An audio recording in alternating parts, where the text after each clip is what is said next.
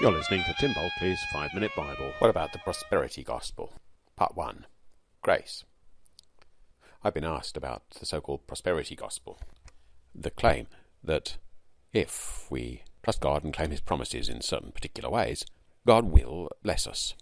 That wealth is a blessing from God.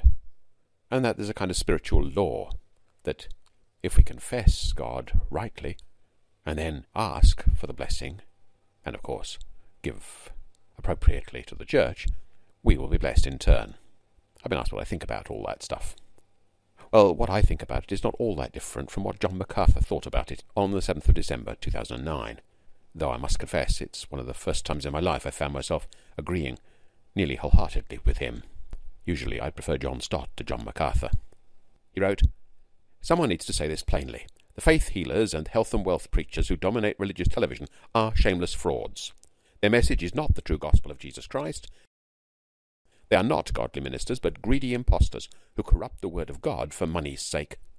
They are not real pastors who shepherd the flock of God, but hirelings whose only design is to fleece the sheep. Their love of money is glaringly obvious in what they say as well as how they live. They claim to possess great spiritual power, but in reality they are rank materialists and enemies of everything holy. As I say, I, I tend usually to disagree with John MacArthur. In this, I'm fairly closely in agreement with him. You see, the prosperity gospel, this claim that wealth is to be understood as a blessing from God and that there's a kind of spiritual law about its acquisition, is just plain wrong. It's not unlike the retribution principle in Old Testament studies, and it's very like the error that Job's friends deduced from the retribution principle. The retribution principle, as taught in Proverbs, goes like this If you follow God's wisdom, you can expect to be blessed. If you do not follow God's wisdom, you can expect to suffer. But because this kind of teaching occurs in the book of Proverbs, we have to recognize that it's a sort of principle rather than a law. A principle is a kind of direction pointing device. A law is a rule that must be followed.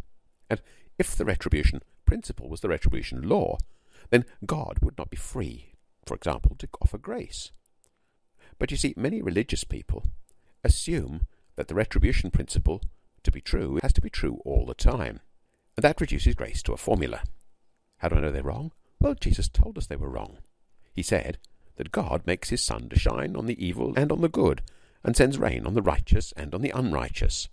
Matthew 5:45. And interestingly, Jesus said this as part of his argument to persuade his followers that they should not merely be good to people who are good to them. Matthew 5:43 to 47. Jesus also made it clear in other places that the retribution principle is not a law. Luke 13, starting at verse 1. At that very time there were some present who told him about the Galileans, whose blood Pilate had mingled with their sacrifices. He asked them, Do you think that because these Galileans suffered in this way, they were worse sinners than all other Galileans? No, I tell you. But unless you repent, you will all perish as they did. Or those eighteen who were killed when the Tower of Siloam fell on them. Do you think they were the worse offenders than all the others living in Jerusalem? No, I tell you. But unless you repent, you will all perish just as they did. In other words, the retribution principle is not a law, and things that happen to us, like towers falling on us, or Pilate killing us, are not necessarily God's reward and punishment for our actions, but we are all responsible for our actions. Indeed, in Jesus' teaching, prosperity is not always a blessing from God. Jesus told a rich man to sell everything and give it away before he could follow him. Matthew 8:20 and Luke 9:58. For this man, his wealth was a barrier to be overcome, not a blessing from God. And look at Luke 18. Especially look at verse 24. Jesus looked at him and said, How hard it is for the rich to enter the kingdom of God.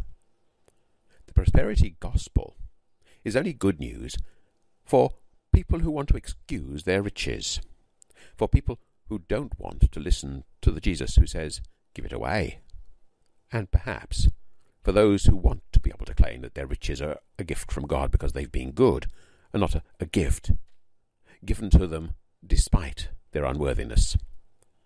And look at the other side of it. I know many people who do not have much in the way of material possessions, but who serve God, He looks after them. rather in the same way that he looked after the widow in Zarephath in 1 Kings 17. Yep, God loves giving to people who are in need. But despite the fact that God loves it, and despite the fact that these people are often good, God doesn't always do it. Because there is no retribution law in the Bible.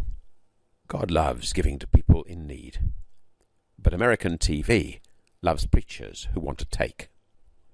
I'm afraid my take on the prosperity preachers is that they are that kind of preacher, and I suggest you don't listen to them. Bye for now. God bless.